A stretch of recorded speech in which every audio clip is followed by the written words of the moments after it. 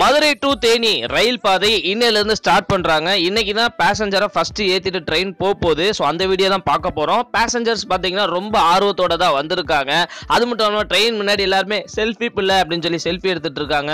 பெரிய பெரிய சேனலோட இன்டர்வியூ பேட்டி போயிட்டு இருந்தது இது என்னன்னே தெரிலங்க சின்ன வயசுலேருந்து ட்ரெயின் இன்ஜின் மேலே எல்லாத்துக்கும் ஒரு தனி க்ரஷ் இதுக்காகவே ஜன்னலோரமாக எட்டி பார்ப்போம். நம்ம லோக்கோ பைலட் என்ன சொல்கிறாருன்னு பார்த்தீங்கன்னா இது வந்து one and half hour travels eighty kilometres இதுக்கு வந்து நாலு ஸ்டாப் இருக்குது வடபழஞ்சி உஸ்லம்பட்டி ஆண்டிப்பட்டி தேனி வரைக்கும் நம்ம ட்ரெயின் இப்ப சூப்பரா போக போகுதுன்னு இருக்காரு இந்த ட்ரெயின் பாத்தீங்கன்னா காலையில எட்டு மணிக்கு ஷார்ப்பா மதுரையில இருந்து கிளம்புது. அதே மாதிரி சாயங்காலம் ஆறரை மணிக்கு தேனியில இருந்து மதுரைக்கு கிளம்புது. பன்னெண்டு வருஷத்துக்கு அப்புறம் இந்த சேவை தொடங்கியிருக்காங்க. ரொம்ப சந்தோஷமா இருக்குங்க அண்ணே டாடா பாய் பாய் பாய்னே பாய்னே நாளைக்கு நான் வரேனே அண்ட் இந்த வீடியோ உங்களுக்கு பிடிச்சிருந்தா லைக் பண்ணுங்க ஷேர் பண்ணுங்க. மறக்காம சேனலை சப்ஸ்கிரைப் பண்ணிருங்க. பாய்